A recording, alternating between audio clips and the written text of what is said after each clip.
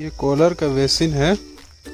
ये budget segment का basin है। इसका मॉडल नंबर है K one four eight zero zero X dash zero ये कॉलर का राउंड बेसिन है।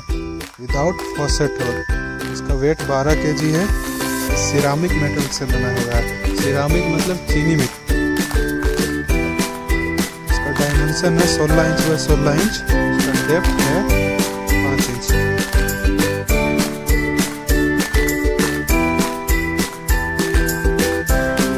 नीचे से ऐसा दिखता बेसिन का प्राइस है नौ हज़ार नौ सौ पचास रुपया।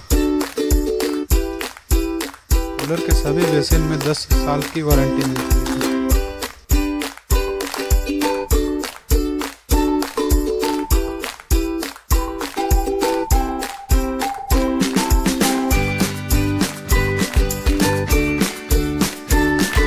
जब ये बेसिन किसी घर में काउंटर में सेट हो जाएगा तो कुछ ऐसा दिखेगा।